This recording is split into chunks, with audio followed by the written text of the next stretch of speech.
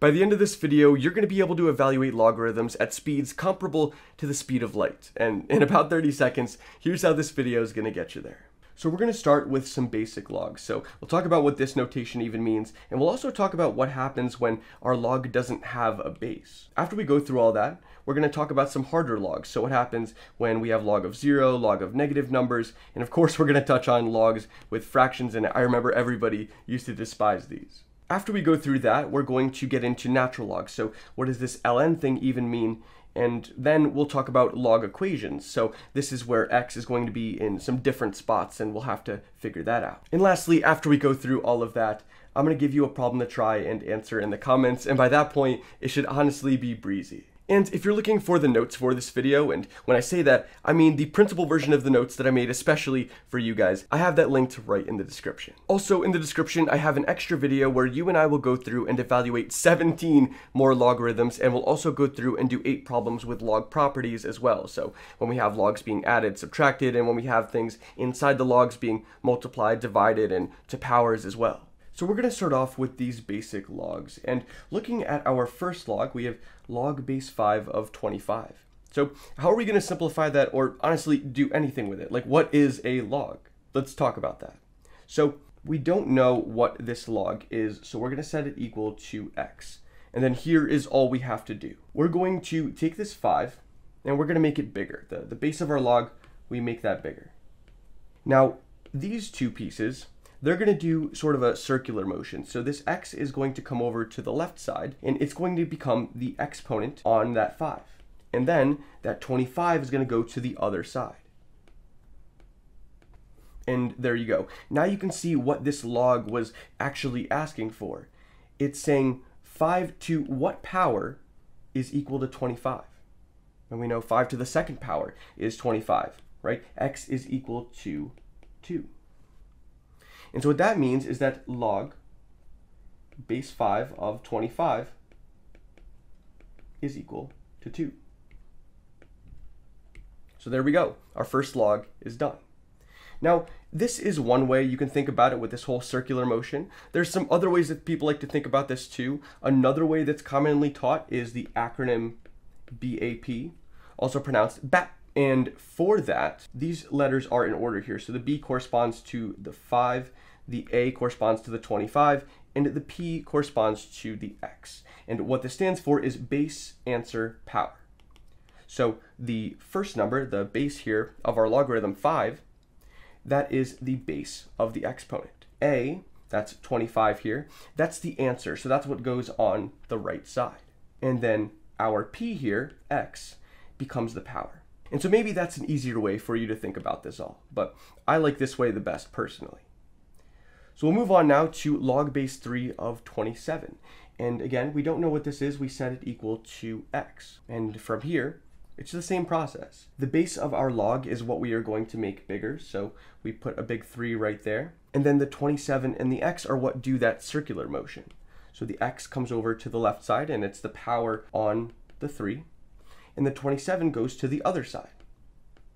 And so what this log is asking is, well, 3 to what power is equal to 27. Well, 3 to the third power. 3 times 3 times 3 is 27. So we know that log base 3 of 27 is equal to 3.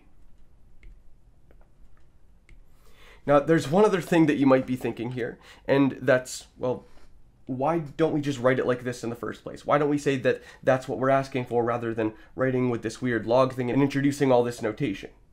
Well, there are reasons why we use logs, a lot of reasons. I'm not going to talk about all of them in this video. I'll give you one basic reason, and maybe that'll kind of keep you going for now. If we want to, let's say that that was a lot messier, right? We couldn't just solve it easily like we did. And we want to plug it into our calculator and find the value of x. Well, we can't really do that as it sits now. And so if we write it like this, we say, well, x is what we're trying to find. We know that's log base 3 of 27. This is something you can plug in to your calculator. So if you never end up learning the other reasons why we use logs, then at least you know that it helps us put things in our calculator. So let's move on to these last two logs here. First, we have the log of 10. And you'll notice that this log doesn't have a base on it. Usually we have a base, like here we had 3. So what do we do? Well, when a log doesn't have a base, that means the base is 10. And now we're just doing everything that we've done before.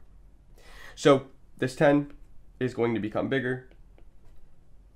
The x goes and becomes the power on it. And this 10 goes to the other side.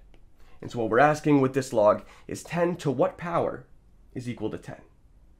And well, 1. 10 to the first power is equal to 10. So that means that log of 10 is equal to 1. And we do the same thing with log of 10,000. Again, you don't see that base there. That means the base is 10.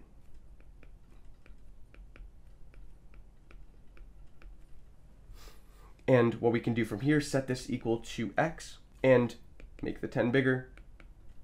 Move the x to be the power on the 10.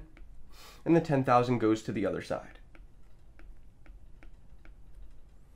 And now what we're asking is 10 to what power is equal to 10,000? Let's think about that. We know that 10 squared is 100. 10 to the third power is 1,000. And so 10 to the fourth power, that would be 10,000. So x is 4. And what that means is that log of 10,000 is equal to 4. Awesome. So now we're going to move on to some harder logs. We're going to start off with these logs right here, log of 1, 0, and negative 1, and then we'll get into those fraction logs. So starting with log of 1 here, again, that's another case where you don't see a base on that log, so we're going to put that base of 10. And we want to find what this is. We don't know. We set it equal to x. Now let's do the same process we've been doing. 10 gets bigger, x goes to the left-hand side as the exponent, and the 1 goes to the right. And so what we're asking with this log is 10 to what power is equal to 1? Well, anything to the 0 power is equal to 1. So that means that x is 0 here. And so log of 1 is equal to 0. And moving on to log of 0, we'll do the same exact thing that we just did. The log doesn't have a base, we put a base of 10. And we set it equal to x. From there, do your trick again. The 10 gets bigger. The x becomes the power. The 0 goes to the other side. And now what we're asking is 10 to what power is equal to 0? And so you can think about that for a little bit, but you're not going to come up with anything. You can't put 10 to any power and end up getting 0. So what's the value of x? Well, x is undefined. And that means that log of 0 is undefined.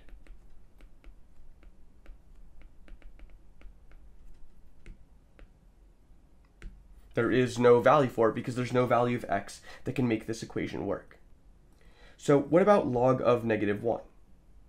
Because we haven't dealt with log of a negative number yet. Well, again, we put that base of 10 in there. We set it equal to x. And we do the same process that we've been doing. So this will be 10 to the x is equal to negative 1. And again, I mean, 10 to what power is equal to negative 1? How could you put 10 to some power and get a negative number? That just, that can't happen. If it was any negative number, so negative 1, negative 2, negative 3, it all wouldn't work. So again, x is undefined, and you have that log of negative 1 is undefined. And so the takeaway here is that you can't take the log of 0 or a negative number. It's undefined. And that is precisely because these equations don't work. There's no value of x that will satisfy them. And so now that we've talked about that, let's move on to those fraction logs. Let's try to figure out those. Now for this first log, we do have a base. We have a base of 8, so that's nice. We can set this equal to x and already start doing our little circle trick. 8 is going to become bigger. We'll put it over here. Then we have the x that goes and becomes the power on 8, and the 1 over 64 goes to the other side. And so what we're asking here is 8 to what power is equal to 1 over 64. And if you're not too good with negative exponents, it might be hard to figure that out. But here's all you got to know.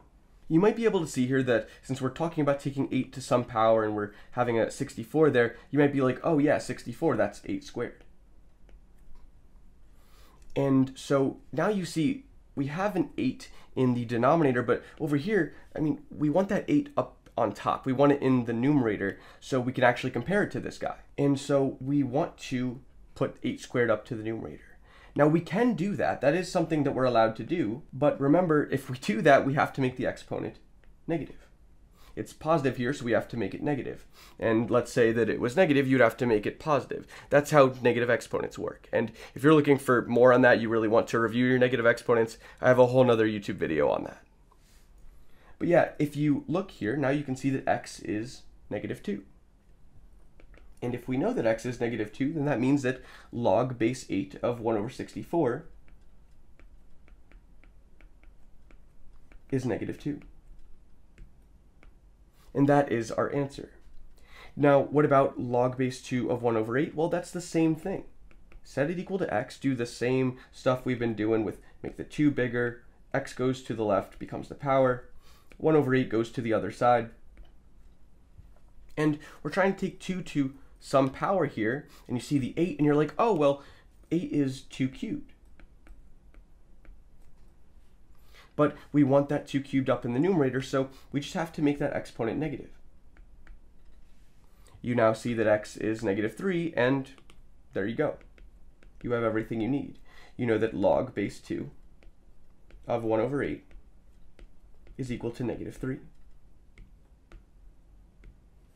So that was a bunch of log stuff, but what about when we talk about natural logs? What are natural logs? What does this ln mean? Well, you deal with natural logs a lot more in things like calculus and stuff, but what this really means, this natural log, it's the same thing as log with a base of e.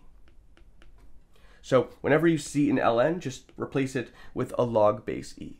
And E, by the way, that's a really important number. That's like 2.718 something. And you'll talk about why this number is so important in calculus. So if you if you end up taking calculus, you'll understand more of why we care so much about E.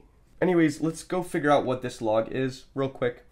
Make the E bigger, put the X as the exponent here, and the 1 goes on the other side. So now we have E to some power equals 1. What is that power? Well, anything to the zero power is equal to 1, so x is 0. And that means that natural log of 1 is 0. Awesome. Now what about natural log of e squared? Well, again, we see that natural log, we replace that with a log with a base of e. And keep that e squared. And from here, let's set that equal to x and make the e bigger put the x over as the power on the e, and that's equal to e squared, which is the thing that goes on the right. And from here you can see that x is equal to 2, which means that the natural log of e squared is equal to 2.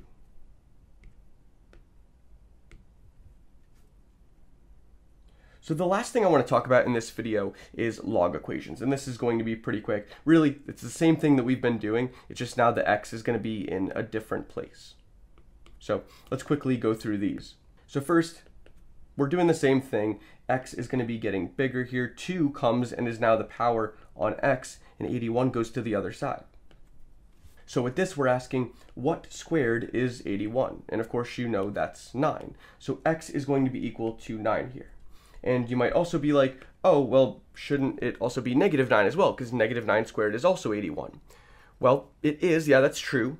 But we can't have a negative in the base of our log. That's just a rule about logs. So no, we can't have negative 9 also as a solution.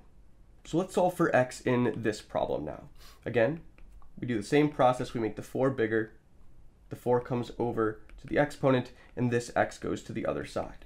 And so we get that 4 to the fourth power is equal to x. So the question is, what is 4 to the fourth power?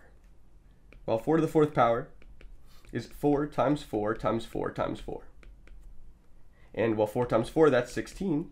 And again, 4 times 4 is 16. So 4 to the fourth power is the same as 16 times 16. And you can do that out, that's 256. And that means that x is 256. And that's going to do it for the last problem for this video. So hopefully this has you feeling much more comfortable now with evaluating logarithms. And if you're feeling pretty good with this, then here's a problem for you to try and answer in the comments.